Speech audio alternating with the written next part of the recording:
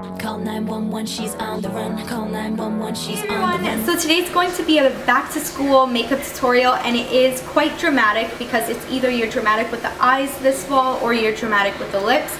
So in this tutorial I'm going to show you these um, sort of dramatic neutral eyes that you can wear for back to school. It's super fast and super easy. Um, but as you can probably notice in the title, I'm doing a giveaway and it is going to be a StyleMint giveaway and if you don't know about StyleMint, definitely click the link down below or I will put a link down below for you guys to um, check out the website or just go to stylemint.com and you can read up on how the site works but to win this giveaway you actually are going to have to go onto the website and you have to pick out a shirt and the size and you will have to let me know in the comments down below. I personally wear size 1 but I'm just going to show you my pick for I believe it was the month of August. Yeah, the beginning of August. Um, this is just the Colorado tee in the indigo color and it has like these sheer sleeves that are really really big and it's sort of like a mesh like texture and it is a cotton shirt.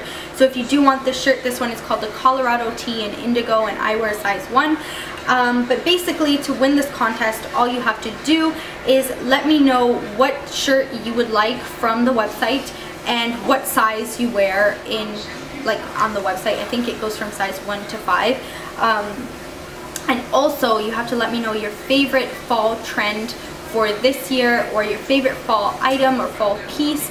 And all you have to do is subscribe if you are not subscribed and the giveaway is very very simple.